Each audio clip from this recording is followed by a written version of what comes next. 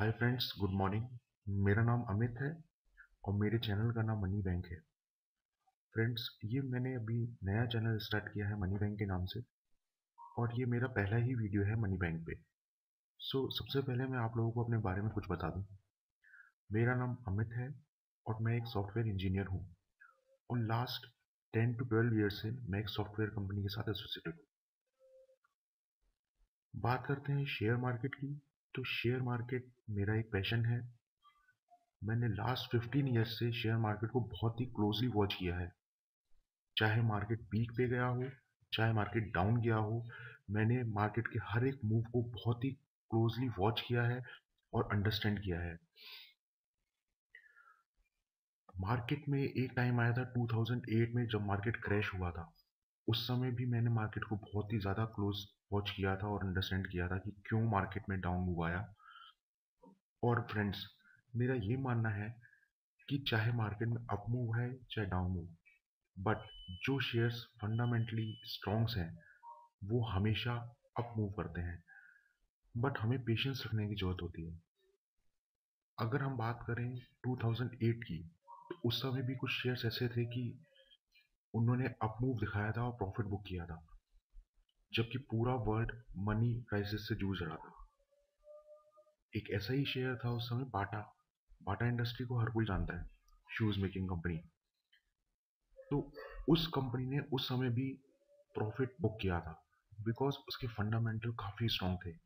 Company के ऊपर date reduce हो रहा था। कंपनी ने अपना प्रॉफिट इंक्रीज किया था।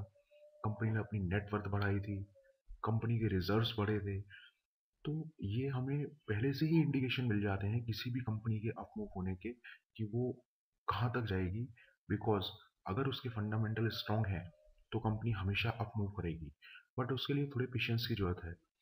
हम लोग जल्दीबाजी में क्या करते हैं कि थोड़ा सा प्रॉफिट होता है किसी शेयर में, हम उसको एग्जिट कर देते हैं। चाहे वो फंडामेंटली बहुत स्ट्रांग हो। बट हमें फ्रेंड्स ऐसा नहीं करना होता।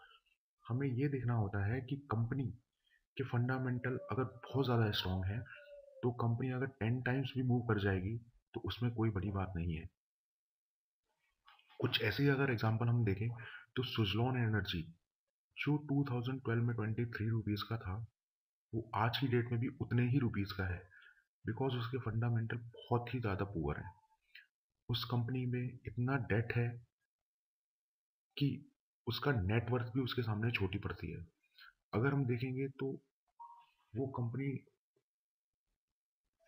डेट इक्विटी रेशियो में फाइव परसेंट पे काम कर रही है। मीन्स उसका डेट इक्विटी रेशियो पाँच है।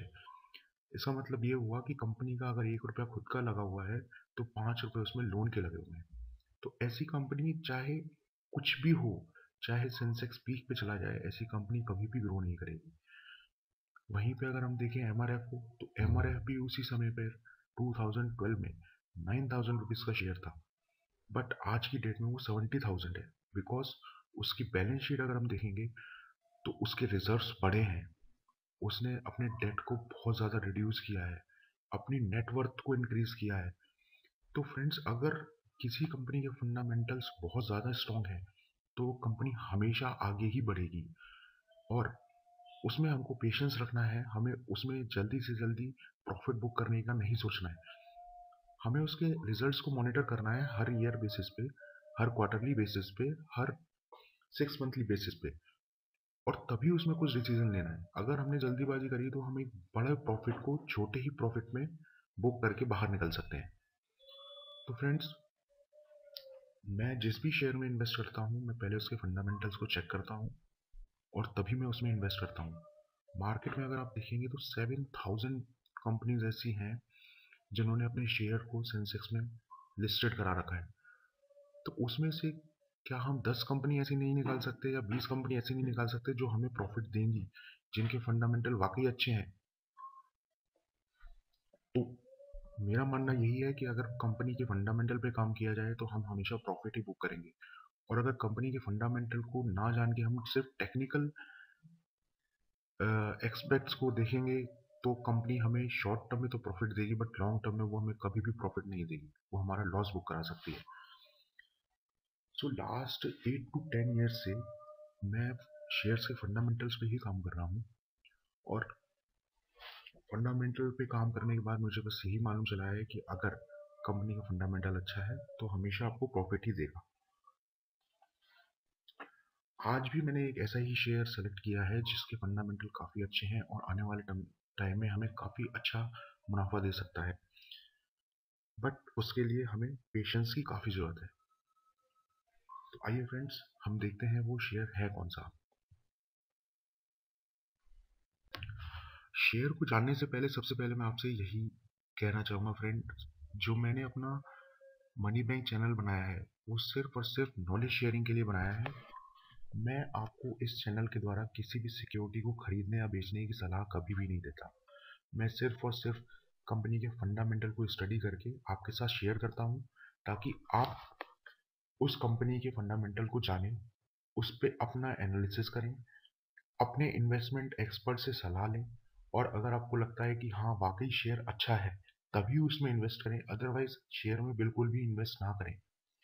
मैंने ये चैनल अपने फ्रेंड्स के कहने पे बनाया है बिकॉज़ मैंने जो भी आज तक फंडामेंटल एनालिसिस किया, उसमें मैंने अपने फ्रेंड से अपनी एनालिसिस को शेयर किया और उनके अप्रिशिएट करने पर ही उन्होंने मुझे बोला कि आप जो भी स्क्रिप्ट देते हो, वो काफ़ी अच्छी होती है फंडामेंटली स्ट्रांग होती है।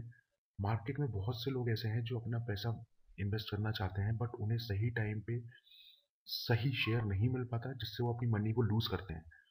तो उन्होंने मुझे बोला कि आप अपना एक चैनल स्टार्ट करो ताकि आप लोगों को फंडामेंटल के बारे में बता सको, जिससे वो अपना पैसा इन्वेस्ट करने से पहले उस कंपनी के फंडामेंटल को एक बार अपने लेवल पे जांचें और अपने इन्वेस्टमेंट एक्सपर्ट से भी सलाह लें नॉलेज गेन करें, तभी उसमें इन्वेस्ट करें ताकि उनका जो पैसा है वो मल्टीफोल्ड हो सके रदर देन कि उन्हें लॉस बुक हो तो फ्रेंड्स ये चैनल सिर्फ़ और सिर्फ़ नॉलेज शेयरिंग के लिए है और इसमें मैं आपको जो भी शेयर बताऊँगा, उसके लिए प्लीज़ आप अपना एनालिसिस ज़रूर करें। अपने इन्वेस्टमेंट एक्सपर्ट के साथ सलाह ज़रूर लें। फंडामेंटल्स पे काम करें हमेशा शेयर्स के। कभी भी मार्केट में अगर कोई शेयर भाग रहा है, उस पर बिलीव करके उसमें चढ़ने की कोशिश ना करें। हमेशा उसी में इन्वेस्ट करें जो लंबी अवधि में आपको एक अच्छा मुनाफा दे सकता है, जिसके फंडामेंटल्स बहुत ज़्यादा अच्छे हैं।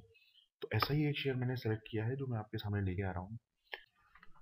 मैंने जो शेयर सेलेक्ट किया है, वो है Prakash industry limited. Prakash industry एक डाइवर्सिफाइड कंपनी है, जो तीन सेक्टर में अपने बिज़नेस को बढ़ा रही है।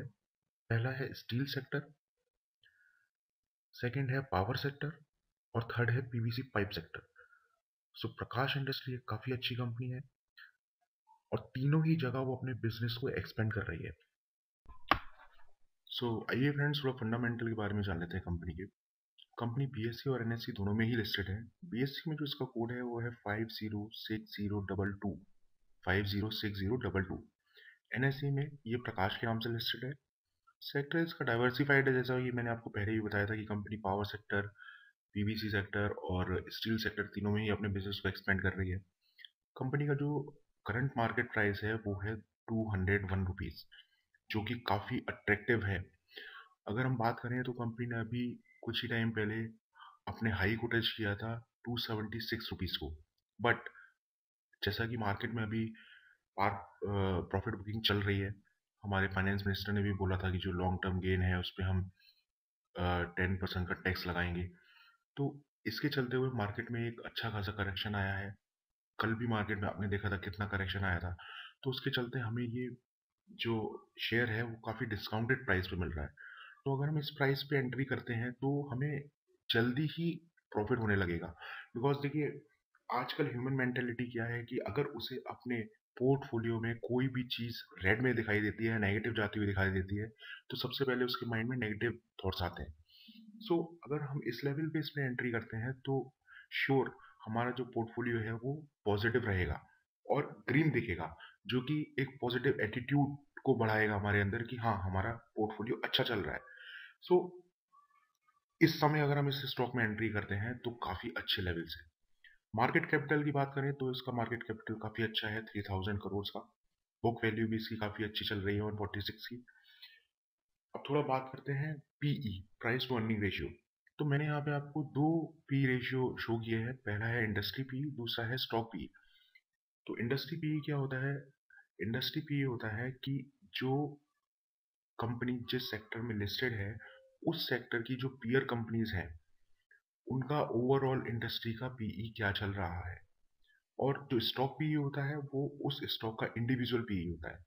तो इंडस्ट्री पीई की बात करें तो अभी 24 के आसपास चल रहा है और स्टॉक का पी 12 रुपीज़ के आसपास चल रहा है।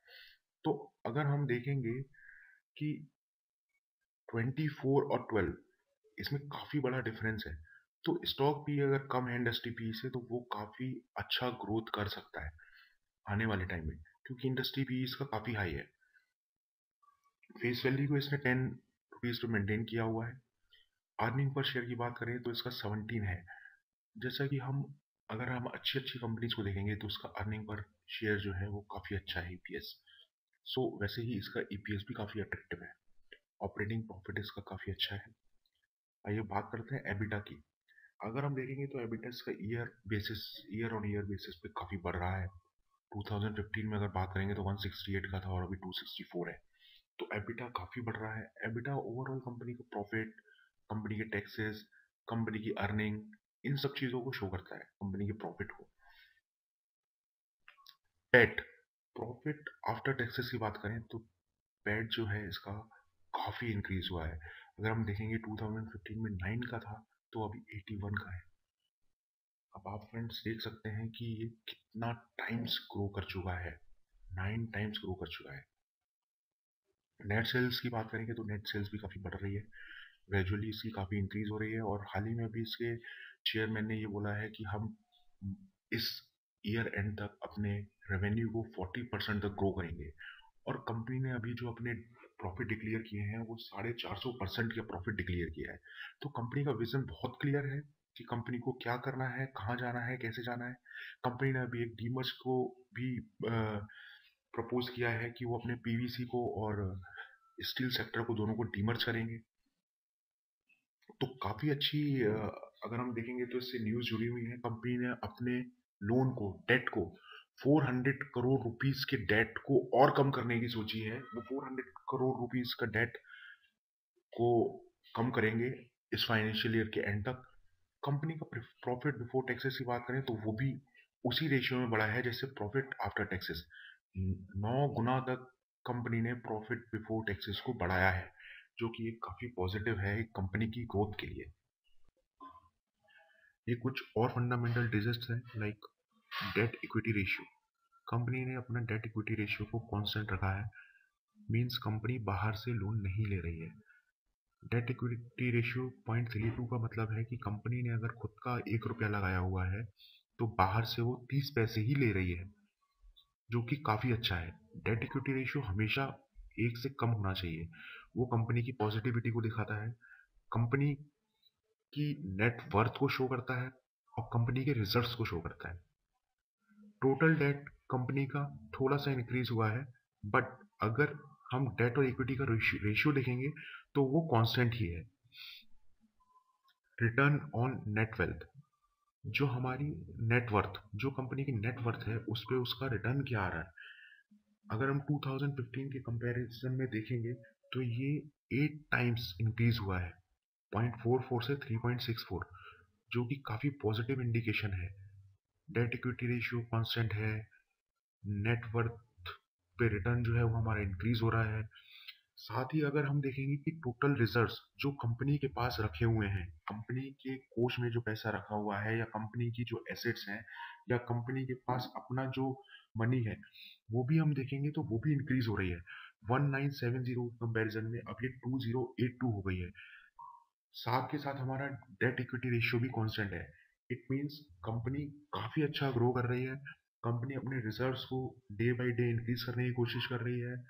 रिटर्न ऑन नेटवर्थ कंपनी का बढ़ रहा है। कंपनी की नेटवर्थ बढ़ रही है। सो so, ये एक बहुत ही पॉजिटिव इंडिकेशंस होते हैं बहुत ही पॉजिटिव फंडामेंटल होते हैं जो कंपनी को ये शो कराते हैं कि कंपनी आने वाले समय में कहाँ से कहाँ पहुँच सकती है। और हम अगर लास्ट क्वार्टर के रिज़ल्ट देखेंगे तो कंपनी ने बहुत ही अच्छा परफॉर्म किया है और आने वाले समय में आपको इसके फंडामेंटल्स और भी ज़्यादा स्ट्रॉन्ग दिखाई देंगे। आइए फ्रेंड्स थोड़ा बिज़नेस प्रोडक्ट और कस्टमर के बारे में जानते हैं प्रकाश इंडस्ट्री के। तो प्रकाश इंडस्ट्री नाइनटीन में इस्टेब्लिश हुई थी।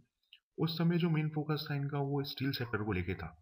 बट धीरे धीरे इन्होंने पीवीसी पाइप्स में भी एंट्री ली और रिसेंटली इन्होंने पावर सेक्टर में भी एंट्री ली है। सो so, जैसा कि हम जानते हैं कि हमारी गवर्नमेंट ने बोला है कि 2020 तक हर एक गाँव में हर एक जगह पर पावर होगी। तो इसी विज़न को लेते हुए प्रकाश इंडस्ट्री ने पावर सेक्टर में भी अपने आप को एक्सप्लोर किया है और काफ़ी तेज़ी से वो पावर सेक्टर में भी अपने आप को आगे बढ़ाने की कोशिश कर रहे हैं। तो आने वाले समय में हम देखेंगे कि प्रकाश इंडस्ट्री अपने एक विज़न को लेते हुए जो तीनों ही सेक्टर का है स्टील पावर और पीवीसी पाइप्स का काफ़ी आगे दिखाई देगी हमें और काफ़ी ज़्यादा प्रॉफिट बुकिंग करेगी। अगर हम प्रकाश के प्रोडक्ट की बात करें तो iron ore mines rigid PVC pipes wind power TMT mill wire rod mill steel melting shop ferro alloy sponge iron next one is power तो फ्रेंड्स, जैसा कि मैंने आपको बताया था कि कंपनी ने अभी पावर सेक्टर में भी एंट्री ली है तो कंपनी पावर सेक्टर में भी अपने आप को एक्सपेंड करना चाहती है। कंपनी का ये व्यू है कि जो मैं पावर प्रोड्यूस करूँगी, लॉन्ग टर्म में वो मेरे प्लांट को सपोर्ट करेगी, मुझे सपोर्ट करेगी और साथ ही साथ जो मेरी सरप्लस पावर होगी, वो मैं अपने कस्टमर को प्रोवाइड कराऊँगी। जैसे कि हमारी गवर्नमेंट का भी ये व्यू है कि 2022 तक हर एक गाँव में पावर होनी चाहिए। हर एक जगह पर पावर की अवेलेबिलिटी होनी चाहिए। तो उस पॉइंट ऑफ़ व्यू से ही प्रकाश ने अपने आप को एक्सपेंड करने की काफ़ी कोशिश की है कि मैं आने वाले समय में अपनी इंडस्ट्री की ग्रोथ के साथ साथ अपने कस्टमर को भी पावर प्रोवाइड करा सकूँ।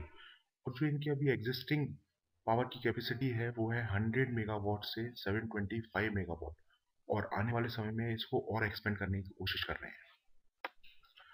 आइए फ्रेंड्स थोड़ा कंपनी के टेक्निकल ट्रेंड के बारे में भी देखते हैं। वैसे तो कंपनी की दो ही चीज़ें देखनी होती है, हमें एक फंडामेंटल और एक टेक्निकल अगर किसी कंपनी के फंडामेंटल अच्छे हैं तो वो नो डाउट काफ़ी ग्रो करेगी. बट टेक्निकल भी हमको कई बार देखने पड़ते हैं. जैसे कि मैंने अभी आपको बताया कि मार्केट करेक्ट हुआ है तो टेक्निकल ये शो कर रहे हैं कि अभी करेक्ट हुआ है बट आने वाले समय में मार्केट ऊपर जाएगा. सो so, इस समय पर अगर हम एंट्री लेते हैं तो हमारा प्रॉफिट काफ़ी अच्छी तरीके से बढ़ता है काफ़ी फास्ट बढ़ता है. और वो हमारे अंदर एक पॉजिटिव एटीट्यूड को लेके आता है. तो टेक्निकल सिर्फ़ और सिर्फ़ शॉर्ट टर्म के लिए होते हैं और फंडामेंटल लॉन्ग टर्म के लिए होते हैं. तो अगर हम बात करेंगे तो ये कंपनी एक डिविडेंड पेइंग कंपनी है। काफ़ी अच्छा डिविडेंड देती है अपने शेयर होल्डर्स को और काफ़ी टाइम से इसने डिविडेंड प्रोवाइड कराया है, जैसे मैं आपको चार्ट में दिखा रहा हूँ। कंपनी के ट्रेंड की बात करेंगे तो ओवरऑल ट्रेंड इसका काफ़ी बुलिश है। 2017 फरवरी से लेकर अभी तक कंपनी ने काफ़ी ज़्यादा अपने शेयर को इम्प्रूव किया है, अपने मार्केट में अपने कस्टमर्स को काफ़ी अट्रैक्ट किया है। अपने शेयर होल्डर को अट्रैक्ट किया है, अपने प्रॉफिट मार्जिन को बढ़ाया है, अपने डेट को रिड्यूस किया है। ये कुछ इंडेक्सेस हैं जो मैंने आपको शो किए हैं। इसमें एक सबसे इम्पोर्टेंट इंडेक्स है relative strength index R S I R S I को अगर हम देखेंगे तो अभी कंपनी का R S I forty two चल रहा है। पहले मैं आपको आर एस आई के बारे में बता दूँ। आर एस आई एक रिलेटिव स्ट्रेंथ इंडेक्स होता है। अगर ये थर्टी से नीचे चल रहा है, इसका मतलब ये है कि शेयर ओवर सोल्ड हो चुका है। और अगर ये फिफ्टी से ऊपर चल रहा सेवेंटी से ऊपर चल रहा है तो वो ओवरबोर्ड जोन में चल रहा है। और अगर ये फिफ्टी के आसपास चल रहा है तो इट मीन्स इसमें अभी काफ़ी अच्छा पोटेंशियल है शॉर्ट टर्म के लिए कि ये काफ़ी ज़्यादा ग्रो कर सकता है। बट ये सब शॉर्ट टर्म के लिए ही है। फंडामेंटल अगर हम देखेंगे तो कंपनी की बैलेंस शीट हमें काफ़ी अट्रैक्ट करती है। कंपनी की बैलेंस शीट काफ़ी अच्छी है। तो हमें दोनों ही चीज़ों को साथ में लेके चलना होता है, क्योंकि टेक्निकल हमें ये शो करता है कि कंपनी में कब, किस लेवल पे हम एंट्री करें ताकि हमारा प्रॉफिट जल्दी से जल्दी हमको मिले। और जो फंडामेंटल है वो हमें ये शो करता है कि लॉन्ग टर्म में कंपनी ग्रोथ कैसी रहेगी। सो रिसेंटली अगर हम देखेंगे तो इकोनॉमिक टाइम की टीम ने प्रकाश इंडस्ट्री के चेयरमैन के साथ कुछ डिस्कशन किया था। सो so, ये डिस्कशन का आउटकम है बेसिकली डिस्कशन के दौरान काफ़ी सारे क्वेश्चंस उन्होंने पूछे कि कंपनी कैसे अपना परफॉर्मेंस को इंक्रीज कर सकती है या कंपनी ने कैसे अपनी परफॉर्मेंस को इंक्रीज किया है। तो जो प्रकाश इंडस्ट्री के चेयरमैन है उनका यही कहना था कि अगर हम देखेंगे कि चाइना ने अभी प्रोडक्शन को कटिंग डाउन किया है, जिसकी वजह से प्रकाश इंडस्ट्री का एक्सपोर्ट काफ़ी इंक्रीज हुआ है। और साथ साथ कंपनी ने अपने वॉल्यूम्स को भी इंक्रीज किया है और कॉस्ट सेविंग पे काफ़ी ध्यान दिया है। सेकेंडली उनका क्वेश्चन था कि कंपनी के जो non non iron ore business है, वो कैसे कंपनी की प्रॉफिटेबिलिटी में हिस्सा देते हैं? तो नॉन आयरन ओर को अगर हम देखेंगे तो पीवीसी पाइप्स यूनिट तो कंपनी के चेयरमैन का यही कहना था कि जो पीवीसी पाइप यूनिट है, वो 10 परसेंट टोटल टर्न ओवर का प्रॉफिटेबिलिटी में हिस्सा करता है। और 76 करोड़ अगर देखेंगे तो स्टील बिज़नेस का प्रॉफिट है और 25 करोड़ जो बिज़नेस है, वो पीवीसी पाइप्स का है। अनदर क्वेश्चन ये था कि अगर हम देखेंगे कि मार्केट में काफ़ी सारी रीमर्स चल रही हैं कि नॉन आयरन और बिज़नेस और आयरन और बिज़नेस आपस में डीमर्ज होने वाले हैं। तो उसके बिहाफ पर आप इसमें कुछ कमेंट करेंगे तो चेयरमैन का यही कहना था कि हाँ नेक्स्ट फोर टू फाइव या फोर टू सिक्स मंथ्स में हम दोनों बिज़नेस को डीमर्ज करेंगे और दोनों को दोनों ही कंपनीज़ को हम लिस्टेड कराएँगे।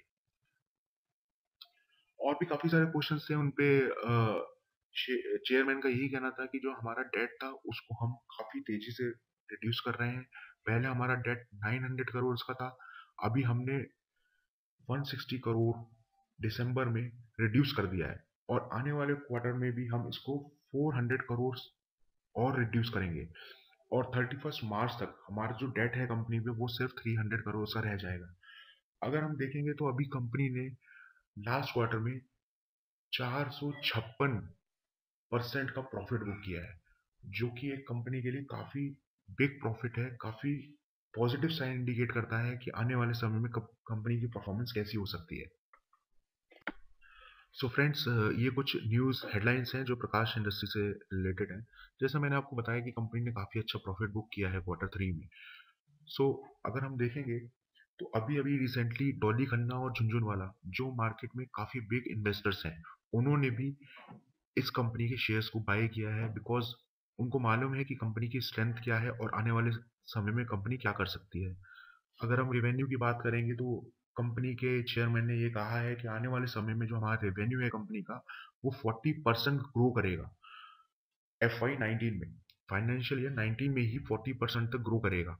सो so, फंडामेंटल्स के बेसिस पे ही कोई भी कंपनी का चेयरमैन होता है या कोई भी कंपनी का एम्प्लॉय होता है, वो सिर्फ़ और सिर्फ़ फंडामेंटल बेसिस पे ही बात करता है। बिकॉज़ वो जानता है कि मेरी कंपनी के फंडामेंटल्स क्या हैं, मुझे किस रेशियो में अपने डेट को रिड्यूस करना है, अपने कंपनी के रिजर्व्स को बढ़ाना है, अपनी नेट ग्रोथ को बढ़ाना है नेट इनकम को बढ़ाना है नेट वर्थ को बढ़ाना है। तो उसी बेसिस पे कंपनी के जितने भी रिप्रेजेंटेटिव होते हैं, उसको आगे शो करते हैं मैनेजमेंट को या कंपनी को रिप्रेजेंट करते हैं मीडिया के सामने। ये इसका शेयर होल्डिंग पैटर्न है। अगर हम देखेंगे तो प्रमोटर्स ने अपनी शेयर होल्डिंग को सेम रखा है। साथ ही साथ एफ़ ने इसमें अपने इंटरेस्ट को काफ़ी बढ़ाया है और काफ़ी एग्रेसिवली इन्वेस्ट किया है। साथ ही अगर हम देखेंगे तो म्यूचुअल फंड कंपनीज़ जितनी भी हैं, उन्होंने अपने पोर्टफोलियो में प्रकाश इंडस्ट्री को इंक्लूड किया है और जितने भी बिग इन्वेस्टर्स हैं लाइक झुंझुनवाला एंड डॉली खन्ना उन्होंने भी अपने पोर्टफोलियो में इस शेयर को इंक्लूड किया है। आइए फ्रेंड्स इसके टारगेट और स्टॉप लॉस की बात करते हैं। वैसे तो अगर कंपनी एक अच्छी फंडामेंटल वाली कंपनी है तो उसके लिए टारगेट कोई मैटर नहीं करता। अगर वो टेन टाइम्स भी यहाँ से इंक्रीज हो जाएगी तो कोई बड़ी बात नहीं है। बट फिर भी लोगों को ये कहता है कि हमारा टारगेट नियर टर्म में क्या रहेगा, ताकि वो अपने शेयर की ग्रोथ को वॉच कर सके उसके हिसाब से। तो अगर हम इमीडिएट टारगेट देखेंगे तो टू थर्टी एट रुपीज़ का है। सेकेंड टारगेट है हमारा टू सिक्सटी सेवन रुपीज़ का और थर्ड टारगेट हमारा थ्री हंड्रेड रुपीज़ का है। बट नो डाउट फ्रेंड आने वाले समय में हमें four hundred five hundred levels भी शो कर सकती है। अगर हम बेस्ट बाइंग प्राइस की बात करेंगे तो अभी जैसे मार्केट करेक्ट हो रहा है तो इसका 185 टू 195 का बेस्ट बाइंग प्राइस होगा। स्टॉप लॉस हमारा रहेगा 170, 154 एंड 134 स्टॉप लॉस भी कुछ मैटर नहीं करता, अगर कंपनी एक बहुत ही अच्छी फंडामेंटल कंपनी है तो। स्टॉप लॉस हमेशा शॉर्ट टर्म के लिए होते हैं। जो शॉर्ट टर्म इन्वेस्टर होते हैं, उनके लिए स्टॉप लॉस मैटर करता है बट लॉन्ग टर्म इन्वेस्टर के लिए स्टॉप लॉस भी डीप हो जाता है।